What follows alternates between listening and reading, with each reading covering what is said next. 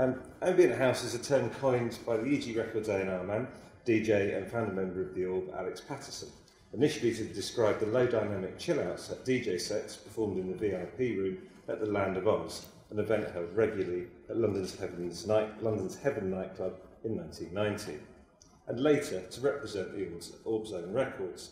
Using a sampler, a tape machine and record decks, Paterson and his colleagues Youth, founder member of Killing Joke and subsequent noted record producer, and Jimmy Cauty of the KLF, combined sound effects records of weather and nature with pre-prepared synthesized loops and other sampled textures, the general lack of a drum track, negating the need for tempo matching and allowing the music to evolve slowly. EG has released many records by the pioneers of 1970s ambient music, such as Brian Eno, including his self-styled ambient release music for airports, with this conference marking its 40th anniversary. And Paterson lays claim to coining the term ambient house because of this influence. It was either come up with something to describe what we were doing or get lumbered with a genre or style name we didn't want. Coming from working at EG Records, where the air word ambient was banded about around a lot, I knew it had to be in there somewhere. The experiments at Land of Oz led to the group led the group to release records as the Orb, but usually with the addition of a rhythm track. The first version of Little Fluffy Clouds was created by Paterson and Youth after Cauty had departed and was released in 1990. It includes an 8 minute 25 second version of the track, as well as a mix without drums, which is subtitled Ambient Mark 1. The 1993 re-release, which is the version analysed here, is a more radio-friendly 4 minutes 28 seconds and includes a chorus of sorts, created by repeating the vocal sample that is also the song's title, and using the sample to re-trigger the first part of the word little to produce a rhythmic stuttering effect. At 104.5 BPM, the record is considerably slower than the house tracks of the time and anchored by a prominent dub-influenced bass line and a strong electronic kick drum on each beat of the bar when present, um, with syncopation provided by a sampled and pitched down drum loop taken from Nilsson's Jump Into the Fire. I'm just going to play you the original. This is the drum break from the original. Oops. Um, and this is kind of pitched down, slowed down version as it would roughly sound on the record.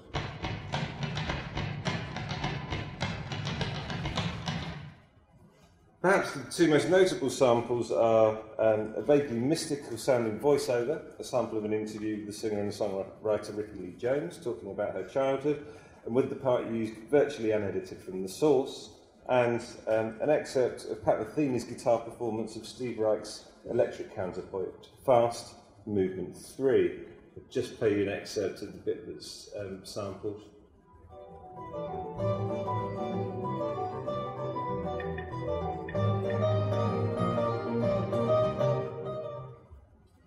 Um, the other recognisable musical sample appears in the track's introduction, a harmonica melody taken from the opening of Ennio Morricone's The Man with a Harmonica, and the soundtrack to Sergio Leone's Once Upon a Time in the West, um, which also featured on other dance records of 1990. Um, I'm now just going to play you about the opening minute and a half of the record, um, up to the end of the first chorus, which includes all the samples discussed so far, as well as the ones I'm going to talk about subsequently. In his article proposing a typology of sampling, Kevin Hudson argues that the particular juxtaposition of the samples in Little Fluffy Clouds, combined with the orb's original electronic parts, creates a very different meaning from that provided by the original samples in isolation. To quote, uh, the most prominent sample in the song and the inspiration for its title comes from an interview with American singer Rickie Lee Jones, during which she describes in rhapsodic detail the skies of her Arizona childhood home. In the context of the interview, this is fairly innocuous discourse. In the context of the Orb's electronic music and the techno-trance culture of which they are a part, it becomes a psychedelic epiphany. The dialogue is juxtaposed with, among other things, a short sample of harmonica from film composer Ennio Morricone's Once Upon a Time in the West. The title invites a connection with Jones's childhood memories, and a two-chord fragment from Steve Reich's Electric Counterpoints. Here, the connection is twofold. First, the normally detached resolve of Reich's music is invested with a psychedelic flavour due to its new context. Early minimalism was also regarded by some critics as a byproduct of 1960s drug culture. The process of studio composition, by layering different sounds on top of each other, a vocal sample you may have heard um, in the excerpt just played, is itself also a kind of electric counterpoint. As with the analysis of any sample-based track, the particular direction taken by the analyst will depend on their level of knowledge, both of the sources of the samples and their cultural significance, relevance and resonance. Holm-Hudson makes well-justified points here, but some of the samples that he does not mention potentially add additional nuance, context and meaning. The song is arguably intended as a soundtrack to the post-rave come down, and so the very first sound heard, that of a sample of the cockerel crowing, suggests that the implied listeners for the record are taking in the dawn because they've yet to go to bed. Um, I'm now going to play just the intro again, so you get another chance to hear the, the other samples and the kind of non-musical samples that I'm going to talk about next. For the past few years, the traditional sounds of summer, the lawnmowers, the smack window has been added a new noise. What were the skies like when you were young?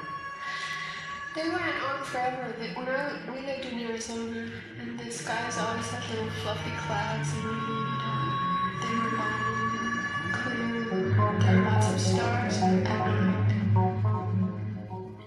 You may have just heard a little kind of motorised sound at the, the end there. That's a lawnmower, I'm not sure.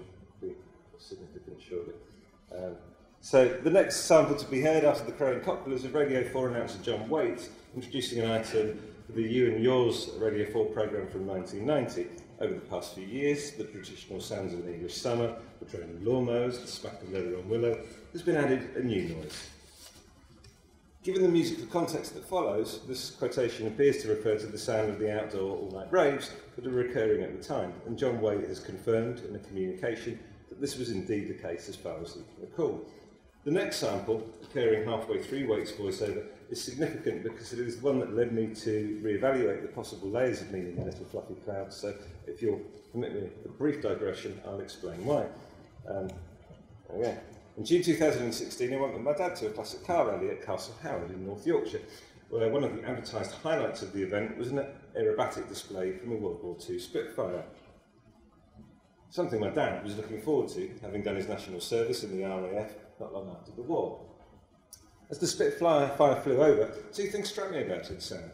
Firstly, that it is part of the introduction to Little Fluffy Clouds, and secondly, that it is synonymous in the British consciousness with World War II, and more specifically with the Battle of Britain in the summer of 1941, when it would have been heard accompanying the drone of lawnmowers, the smack of leather on willow, above the fields of southeast England.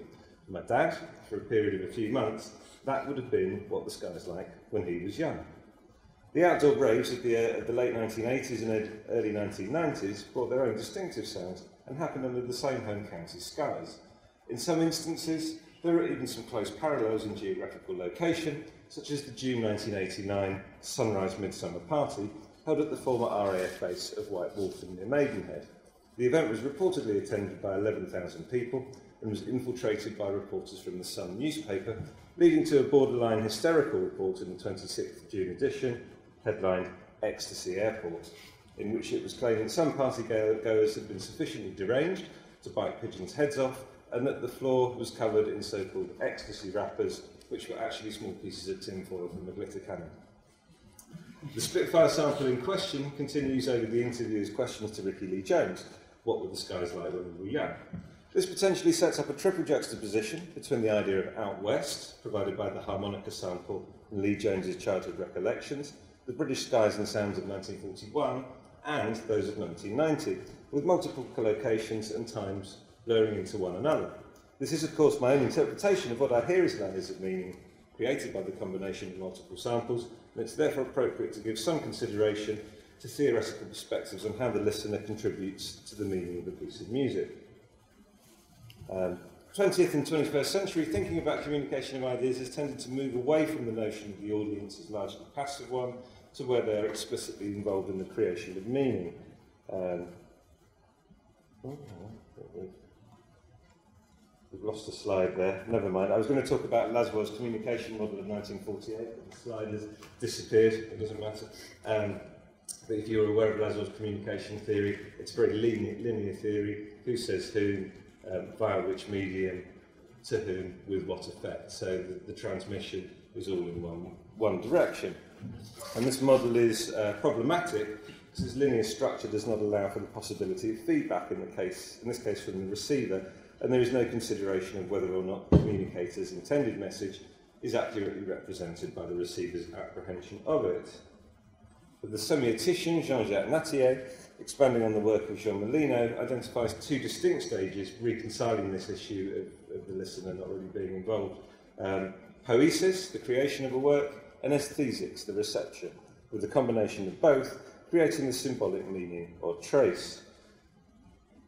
To quote Nattiez, the symbolic form, a poem, a film, a symphony, is not some intermediary in a process of communication that transmits the meaning intended by the author to the audience. It is instead the result of a complex process of creation, the poetic process, and has to do with the form as well as the content of the work. It is also the point of departure for a complex process of reception, the aesthetic process that reconstructs a message.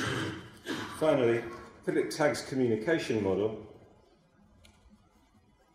um, acknowledges ideas such as Lasswell's in terms of the flow of a message, but also emphasises the contribution of the listener in providing reconstruction and potential feedback, both to the store of symbols from which the music is derived and to the socio-cultural norms necessary to interpret its context. If the transmitter and the receiver do not share the same store of symbols, then the message will not be decoded as intended due to, quote, codal incompetence. If they have differing socio-cultural norms, then the full context of the message may not be apprehended as intended, leading to codal interference. Tagg is keen, however, to note that codal incompetence and codal interference should not be construed as negative terms. Now, incompetence and interference both sound quite negative, but neither term is intended in any pejorative sense. The two words are just shorthand for two types of breakdown in musical communication. Each concept simply highlights a particular set of mechanisms, causing the varying degrees of difference that inevitably arise in semiotic terms between object and interpretant, or in terms of intentional communication, between intended and interpreted message. Codal incompetence and codal interference are in fact essential to the renegotiation of music's possible meanings and to its survival as a sign system capable of adapting to different functions for different individuals in different populations at different times and in different places. In other words, codal incompetence and codal interference are, quote, prerequisites for shifting musical meaning. Signs from one culturally specific store or vocabulary can be appropriated into another where they acquire a different meaning or function. These ideas are clearly useful when thinking about sample-based music. By removing the sample from its original context and reframing it in a different musical setting, only part of the source code has been used, so much of the original message will be lost. And through the process of codal interference, a new message arriving, arising from a different store of symbols, and often a different set of socio-cultural norms, will be created. To an extent, this can be evidenced by some of the differences in Holm Hudson's interpretation of Little Fluffy Clouds and my own. As an American, the combination of a musical theme from a spaghetti western and Rickie Lee Jones's musings about the state of Arizona perhaps provide him with a stronger sense of out west than for me, while events in the home counties in both 1941 and 1990 are probably more likely to be applied to the musical material here by me than by him. Although Paterson has, has previously discussed many of the samples in interviews, I could find no mention of the Spitfire sample, so I was interested to discover in reply to a, question to him in a recent communication, and given my own fixation with that particular aspect of the track, the intentions behind its inclusions. The aeroplane was meant to be a hurricane, as my dad flew one in World War II. Sadly, he passed on in 63 and I never got to know him, and I suppose it was a heads up to him. The sample in question may well have been a Hawker Hurricane, rather than a Supermarine Spitfire, given that both aircraft use the same engine and sound virtually identical. More importantly, there seems to have been some successful transmission of the intended message here, in that for both Paterson as composer and for me as listener, the sample points to the differences between our own experiences as young people and those of our fathers in the Second World War. In addition, the Hurricane and Lawnmower sample, combined with John Waite's voiceover, provided, oops, provides a sense of this being an English piece of music despite its two most notable samples being American. So some commonality between ambient and ambient house.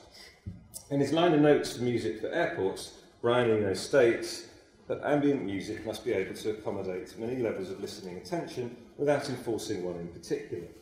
It must be as ignorable as it is interesting. He also argues that while conventional background music is produced by stripping away all sense of doubt and uncertainty, and thus all genuine interest from the music, ambient music retains these qualities. The layering of multiple samples from multiple times and places in records such as Little Fluffy Clouds creates uncertainty about the intended meaning behind those combinations and allows the listener to construct a range of meanings. Little Fluffy Clouds also accommodates different levels of listener attention, in that it can be background music to chill out to or nod your head along to, but in the right frame of mind, it might encourage dancing, and in a different frame of mind, become an immersive listening experience. There are also some similarities in the compositional and production approaches of Eno and Paterson. In a studio's compositional tool, Eno explains, explains why studio technology is so essential to his practice. I can neither read nor write music, and I can't play any instruments really well either.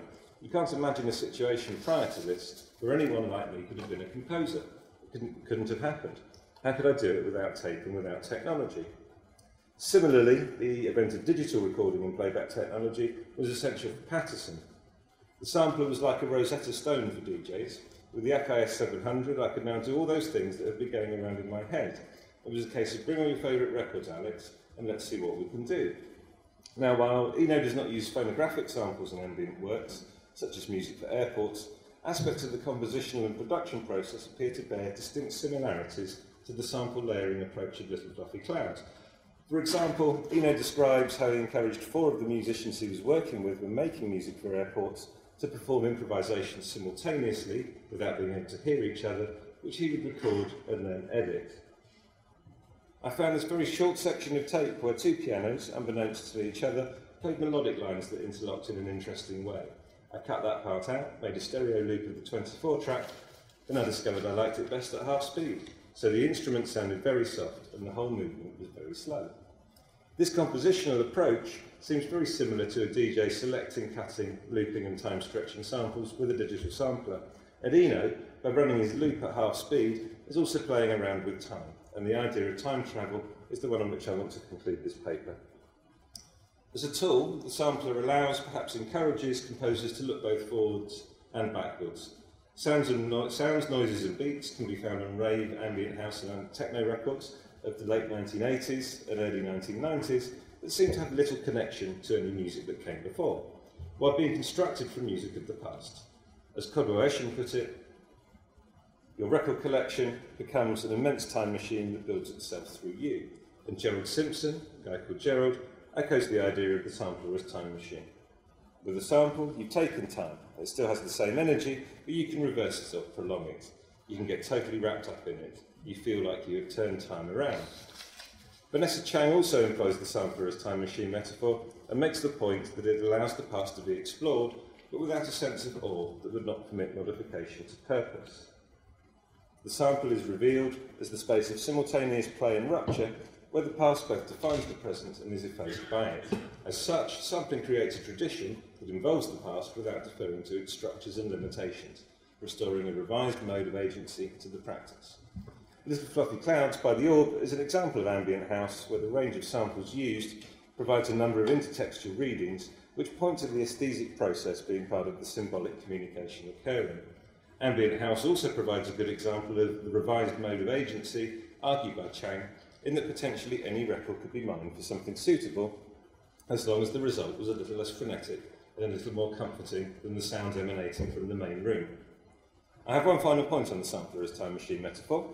Uh, somewhat intriguingly, both the Rickie Lee Jones and Steve Reich recordings were unknown to Paterson and Youth, um, and were sent to them on cassette by a record shop worker and fan called Simon from Birmingham, with a note that said they would be perfect for the orb.